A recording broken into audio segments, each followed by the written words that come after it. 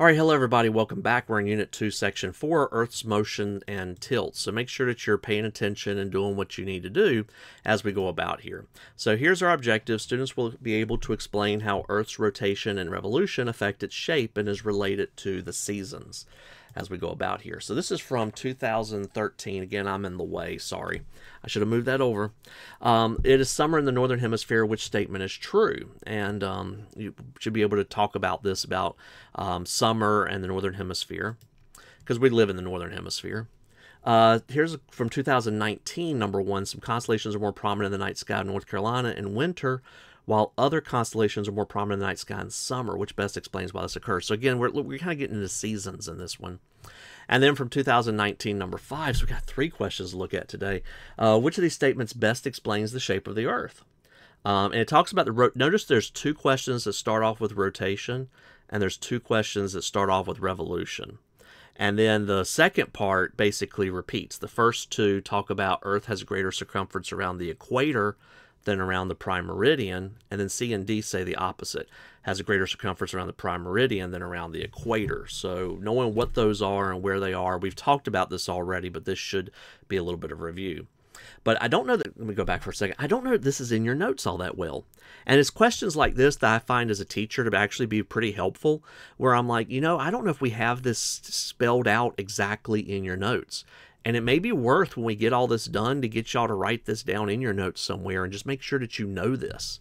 Um, and so I always find questions like this helpful because it takes a concept and it just summarizes it very quickly um, for you.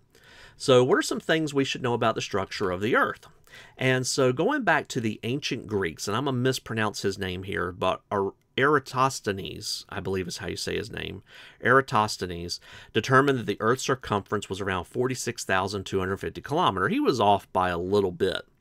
But what we find is that at the equator, which is that belt line, and again, I'm going to turn my laser pointer on because I think that might be helpful. This belt line, the equator, the Earth actually bulges out a little bit. So as the Earth spins on its axis, as it rotates every day, it actually kind of squashes a little bit. So the Earth is a little, it's not exact, it's not a perfect sphere. It, it bulges out. So you can think of it almost like a football where, you know, it's going to be a little bit out. It's not quite that extreme, but it's a little bit thicker this way than it is north to south along the prime meridian. So there's kind of the answer to our question there, right? Okay. Um, at the poles, it bulges out about 40,007 kilometers, is what we find. So it is an oblate spheroid, um, spherical. It's slightly flattened at the poles. It bulges at the equator. So there, there's your, there it is. It's, it's in your notes. Okay, I was a bit worried about that. So as Earth rotates, the sphere is distorted by centripetal force. So as the Earth spins, it's going to bulge out a little bit, causes objects to move outward from the center, and it's greatest at the equator. So again, just to kind of show you the distance, equatorial diameter is 12.756 kilometers, whereas the polar diameter is 12.714 kilometers, or 12,000 rather. So um, this is not quite, it's, it's longer this way than it is this way. Not by much, but by some. And the Earth is tilted on an axis, so we do believe that you know that we do have this imaginary axis that runs this way, and it is 23 and a half degrees to that axis. We're perpendicular to that line. And the Earth rotates or spins on this axis every day, and this is what allows us to have seasons. And of course, we've kind of already said this, but it's worth reviewing. We use a coordinate system of latitude and longitude on the pla- on the planet. Now, some of you seem to kind of ignore this in Unit 1, so you need to kind of come back and relearn this if you kind of ignored it. But latitude lays flat. These measure distance north and south, but they run east to west. They measure north and south, but they run east to west. They're also called parallels. So that's what your latitudes look like. And here's just another view of latitudes. And we have various ones. The equator is a latitude. We consider that a low latitude. We consider high latitudes to be near the poles. Longitudes measure distance in degrees east and west, but they run north to south. These are also called meridians because we do have one called the prime meridian, which, if you remember, runs through Greenwich, England. Um, that we have there, and that's where I guess that's where it was originally discovered. I forget, I don't know the science behind it, but um, the prime meridian is defined as running through Greenwich, England, and it runs it measures east to west, but they run north to south. And again, we are on a tilt, so it's it's actually leaning a little bit to the side. And you notice the prime meridian is not is not actually the one in the front here. It's this one here. It's the one that runs there. I can't exactly trace it very well with my mouse, but there's there's it is. Okay. Uh, sorry, went too fast. So Earth rotates. Earth rotates on its axis, which means it spins. We know it takes about 24 hours or one day for the Earth to completely rotate around. And that's what gives us our night day cycle. Of course, we're not sticking straight up and down like it's showing you here. We are at a 23 and a half degree tilt and we revolve. And when we revolve, we go around the sun. And the revolution of the sun is about 365.25 days a year. And that's why we have a leap year because every four years we're kind of adding that back to the calendar. Because if we didn't do that, I guess about every, what, four times 180. So about, what is that? Um, 720 years or so, Christmas would be in the middle of the summer and vice versa. Maybe we should do that. And then the Australians could actually have a winter Christmas as well. But, you know, most civilizations aren't even going to last that long. So that's why we do leap year every four years, just to kind of get the Earth back on balance, if you would, with, with what our calendar and our seasons make sense to us. But hopefully you already know what a rotation and a revolution is. Um, so why is there summer and winter? First off, there's the number of daylight hours. Uh, the number amount of sunlight varies throughout the year. The tilt of the Earth means that no two latitudes get the same amount every day. In the summer, we have about 14 hours of sunlight and about 10 of our hours in the winter. So it's it's very lopsided as opposed to 12 and 12. The other reason why there's summer and winter is the angle of the sun's rays. It's not our proximity to the sun, it's the angle that we're at. So, like for instance, when the southern hemisphere is closer to the sun, for them it's summer. And for us in the northern hemisphere, it would be winter because this area of effect is much more diluted. And so the sun's rays get spread out over a longer distance and have less impact. We're actually closer to the sun during our winters, but because we're at a steeper angle, we get less direct sunlight. Likewise, um, and again, remember the Earth doesn't go back and forth on its tilt. So when this rotates around the, um, the sun, we'll be closest to the sun there. Okay.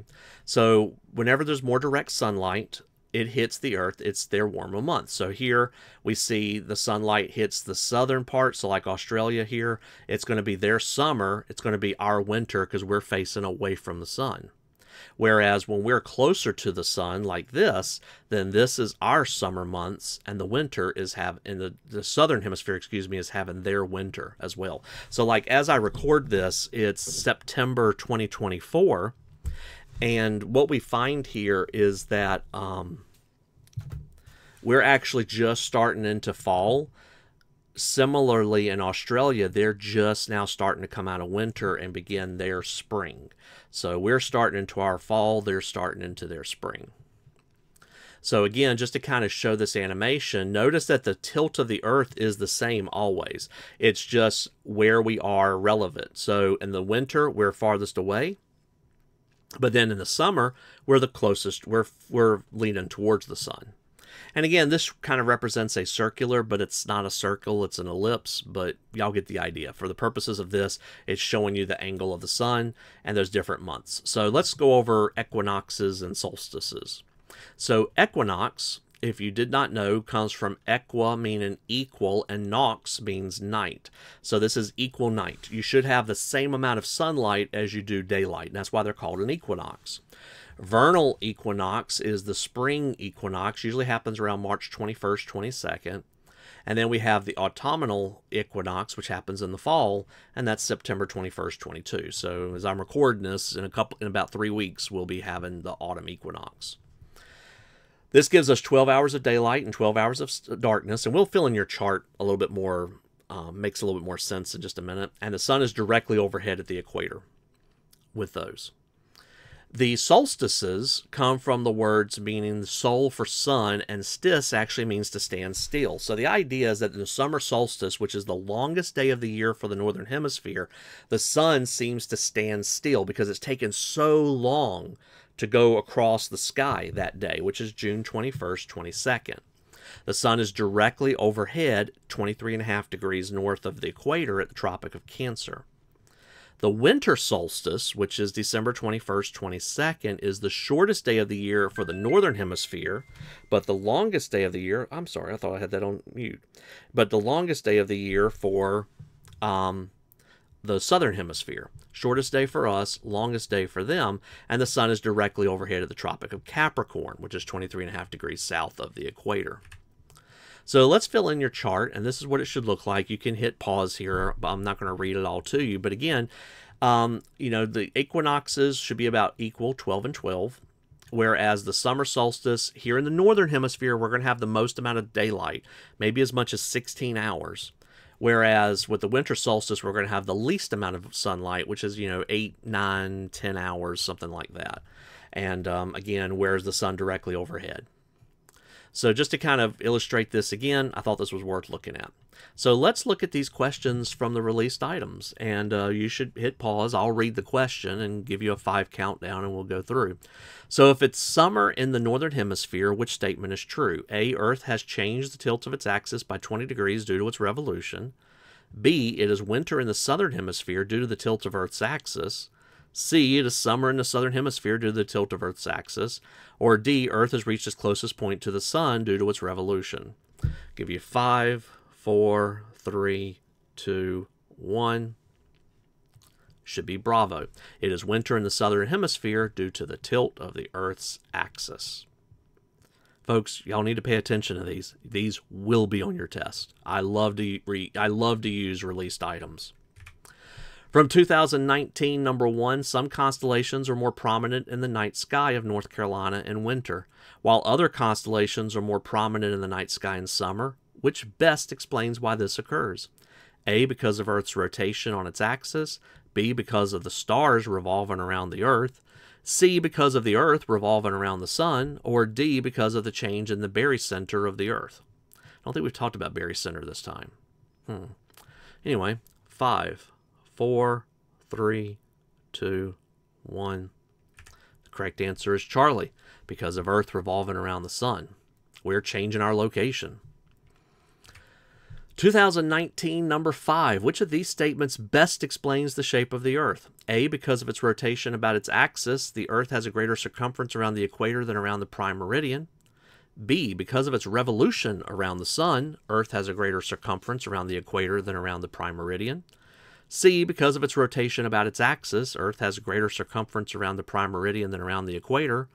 Or D, because of its revolution around the Sun, Earth has a greater circumference around the prime meridian than around the equator. Now, before I give you a countdown here, let me point out there's a lot of words there. You need to break it down and break it down quickly. Um, but I will give you a countdown, and then I'm actually going to talk through it before I reveal the answer. Five, four, three, two, one. Okay.